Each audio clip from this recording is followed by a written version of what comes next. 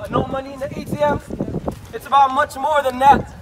It's about 30 years of an oppressive regime that's been killing, raping, and stealing everything that belongs to Sudan. Sudan is one of the wealthiest nations in the world.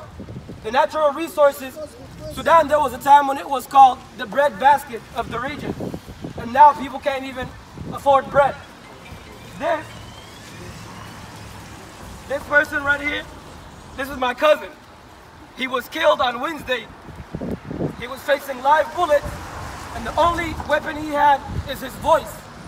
He was armed, he, was, he had no arms on him, no guns. All he wanted was a dignified life. They shot him twice in the back, not from the front. They shot him in the back.